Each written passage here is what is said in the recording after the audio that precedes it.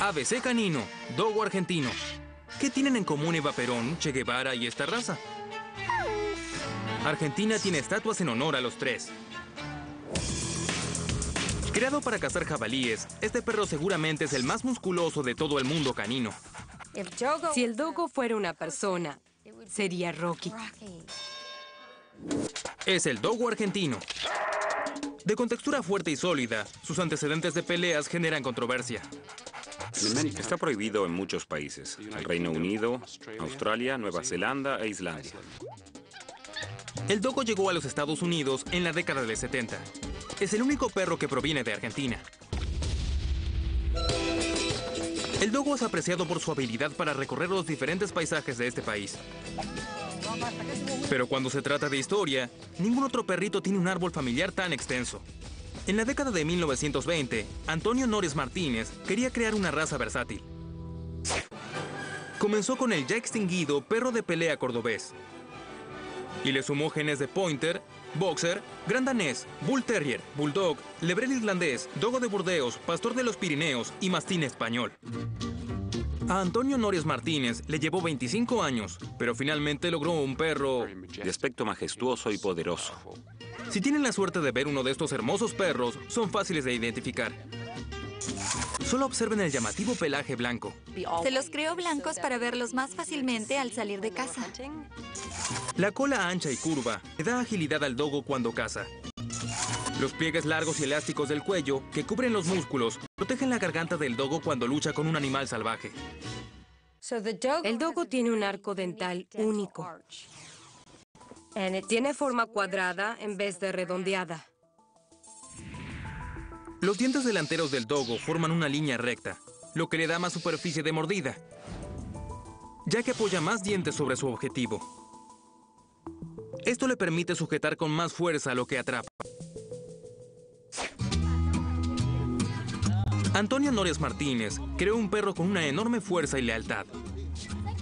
Pero le pasó el legado a su nieto, el doctor Ulises de Andrea Nores.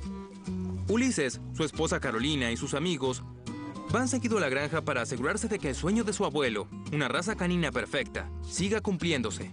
Cuando hay dogos en mi casa, me siento muy protegida. Y no es de extrañar. Un fatídico día de 2008, un dogo llamado Morocho les demostró que todos sus esfuerzos no habían sido en vano. Hace tres años, Jolie y Sophie, mi hija mayor, fueron hasta la higuera a buscar higos. A Jolie y Sophie les encantaba pasar tiempo bajo la higuera, y las dos sabían que los mejores higos están en las ramas más altas. En ese asiago día, sin pensarlo dos veces, Jolie trepó la higuera para buscar su fruta favorita. Pero encontró algo bastante más peligroso. Ella vio un puma. El puma, un león de montaña, es uno de los mayores predadores de Sudamérica. Pesa más de 80 kilos.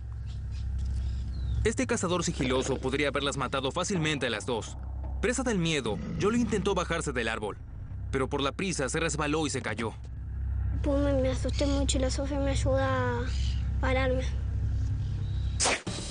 Las niñas intentaron volver a la granja lo más rápido que pudieron, pero el puma la seguía. Por suerte no estaban solas. A su lado estaba su guardián de 40 kilos e instinto protector, su leal dogo Morocho. Morocho comenzó a pelear con el puma. El padre de Jolie, Tomás, escuchó gritar a las niñas y fue corriendo a investigar. Pensando que era un- algún otro bicho, una, puede ser una víbora. Por eso tuve... A medida que se acercaba, Tomás notó que no era una serpiente. Y cuando llegó vio a Morocho. Milagrosamente todavía estaba vivo, pero bastante herido. Y fue entonces que Tomás vio un puma muerto a unos metros de distancia. Tomás recogió a Morocho y lo llevó a la granja. Lo cuidó durante 10 días hasta que se recuperó. Después del ataque, Morocho se convirtió en héroe aquí. Si no fuera por Morocho estaríamos heridas. Morocho tiene un lugar especial en nuestros corazones por ser nuestro protector. Gracias, Morocho. Gracias a su increíble fuerza, Morocho y las niñas siguen con vida. La familia estará por siempre agradecida de tener a Morocho en su granja. El dogo necesita un ámbito con mucho espacio para correr. Necesitan actividad para estar estimulados. Es un perro intenso. Este perro fue criado para proteger a las familias y cazar jabalíes. El pelaje del dogo debería ser suave al tacto.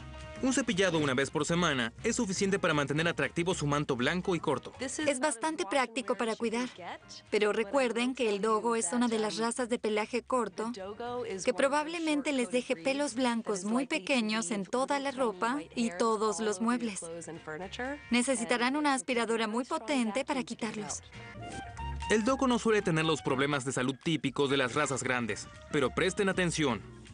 Los dogos, al igual que los dálmatas, son propensos a sufrir sordera relacionada con el pigmento. Es causada por una anomalía hereditaria.